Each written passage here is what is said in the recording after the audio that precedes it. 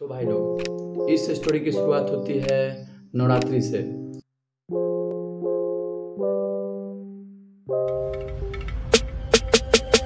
ऐगिरिनन्दिनि नन्दितमेधिनि विश्वविनोदिनि नन्दनुते गिरिवरविन्ध्यशिरोधिनि वासिनि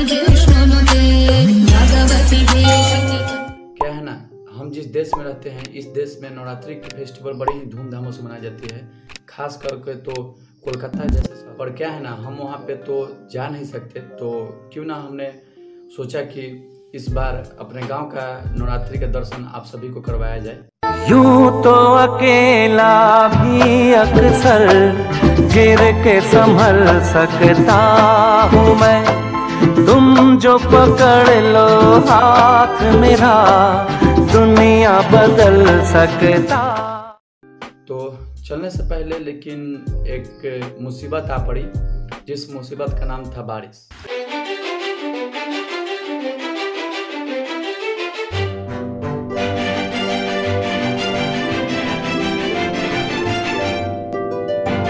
काफ़ी तेज़ बारिश हुई लगभग लगभग आधे घंटे 45 मिनट तक।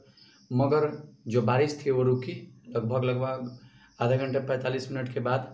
बारिश की रुकने के बाद हमने अपनी जर्नी को फिर से कंटिन्यू किया और हम अष्टमी के दिन अपनी जर्नी की शुरुआत की लगभग पाँच मिनट के बाद हम अपने गाँव के मंदिर की तरफ़ पहुँच गए। और वहाँ पे पहुँचने के बाद देखा कि जो लोगों की संख्या थी वो काफ़ी कम थी, मगर श्रद्धालुओं की कोई कमी नहीं थी। कोई एक तरफ़ दीप जला रहा था तो कोई मंदिर का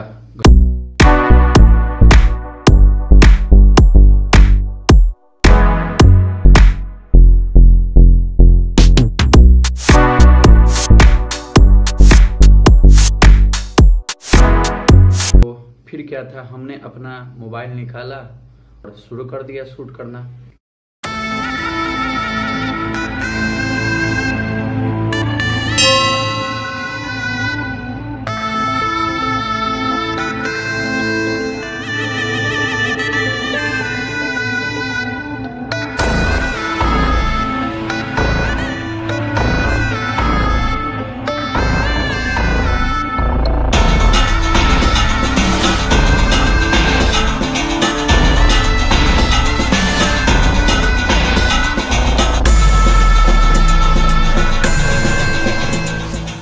हमारे यहाँ क्या है ना, सहारा के दिन मूर्ति का विसर्जन नहीं होता है और हमारे यहाँ मूर्ति के विसर्जन पूर्णिमा के दिन होता है, जो कि दशहरा से लगभग तीन दिन बाद होती है।